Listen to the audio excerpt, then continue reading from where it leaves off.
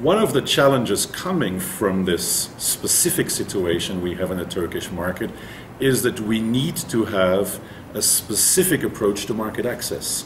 We need to have a specific approach to making sure that our medical staff is backing up our marketing strategies. We need to have specific approaches to patient organizations. The challenge from the brand planning perspective is that it is, becomes easy as a product manager to lose control as you have a task force to deal with market access, you have a task force to deal with patients, you have medical processes that need to be compliant inside the organization. The risk is that the brand planning process becomes very much focused on marketing planning, product promotion only.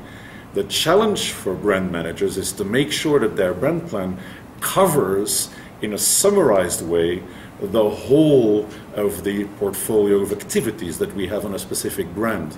And really, I think the challenge is that we need to use some of these planning templates which have been designed in a proactive way to communicate not only with the bosses to get resource for our brand, but also with the various cross functional departments to ensure that our strategy is well aligned.